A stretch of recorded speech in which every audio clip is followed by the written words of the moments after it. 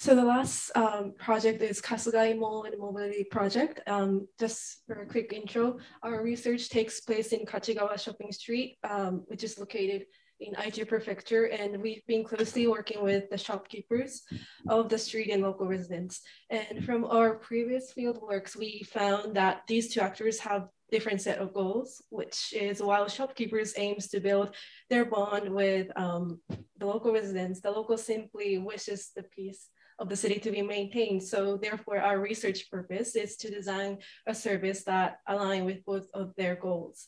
And we have Chihiro Sato from the faculty, um, followed by Moe and I as the member. And the project is also sponsored by Daiwa House.